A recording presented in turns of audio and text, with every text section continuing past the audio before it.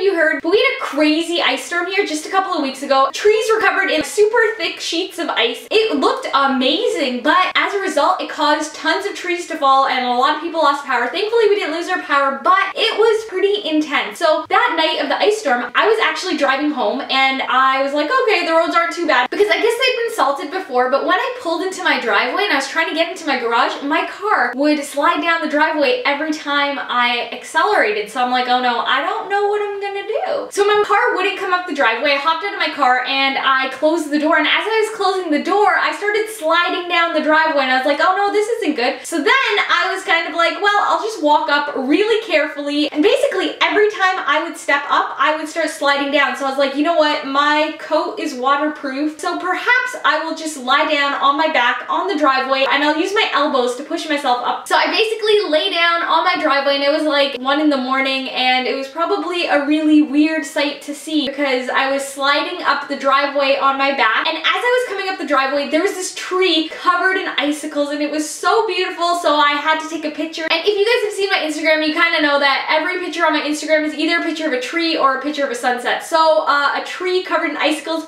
what could be beautifuler? So I took a picture of the tree and my head was starting to come up the walkway and my mom was concerned that I was coming up the driveway in this ice storm. So she peeked her head out the front door and she sees my head on the ground in the ice. This was kind of a reaction.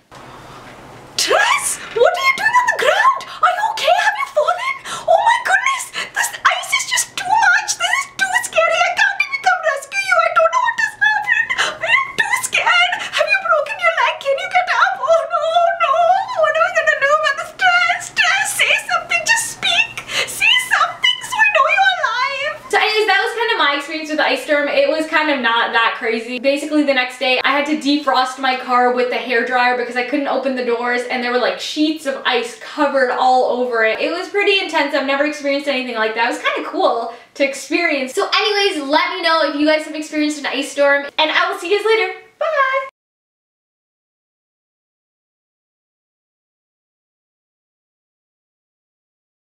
The door's open and you're standing with like a bunch of people and you get on the train. No, you can't get on the train because the train comes full. So you're trying to get on the train and you step in and the doors start closing on you because you can't get in because there are too many people on the train and then you have to jump out